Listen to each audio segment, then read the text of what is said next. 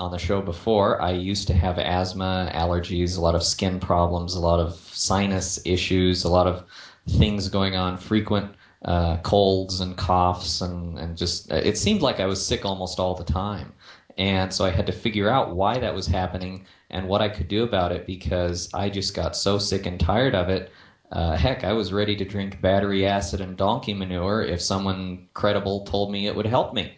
So fortunately, I never had to do that. But uh, you know, you get very desperate, and oftentimes that's where you have to be before you can make an improvement.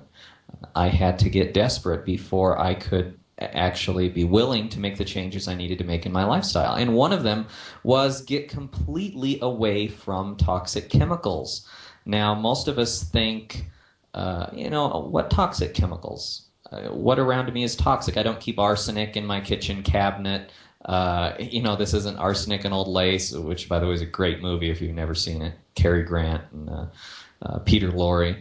And, you know, I don't keep jars of poison around. What, what does this have to do with me? and yet uh, most people actually do keep jars of poison around in the form of cleaning chemicals and cosmetics. Uh, some cosmetics contain chemicals that are known to be toxic, and the FDA actually lets them put them in there.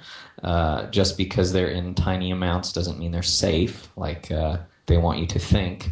Uh, yeah, she says everything is in the chat room. Yeah, it pretty much. Uh, if it's synthetic, it's toxic. Period.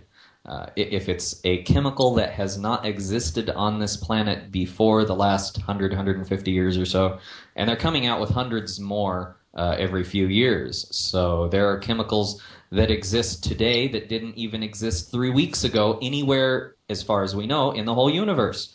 So these are synthetics, and the reason they're toxic is because they are 100% foreign to the human body and to the entire ecosystem and to everything that was put here to uh, help us to function in a healthy way.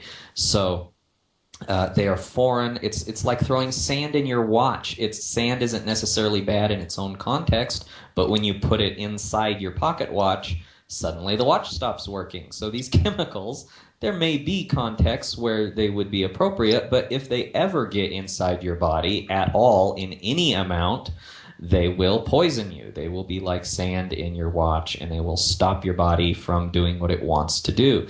Uh, prescription drugs are the same way. In fact, they are one of the most virulent toxins uh, known to man, uh, by and large, uh, in the big picture, because because uh, the prescription drugs are actually the fourth leading cause of death in the United States. You may not have known that, but it was reported in the Journal of the American Medical Association.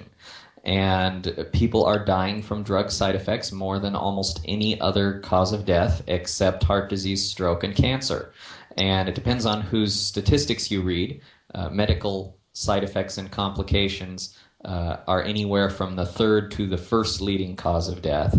So, uh, what is supposed to be helping us is killing us, and I think it's time for a change. So, there's my soapbox for the day. Thank you for bearing with me through that little speech.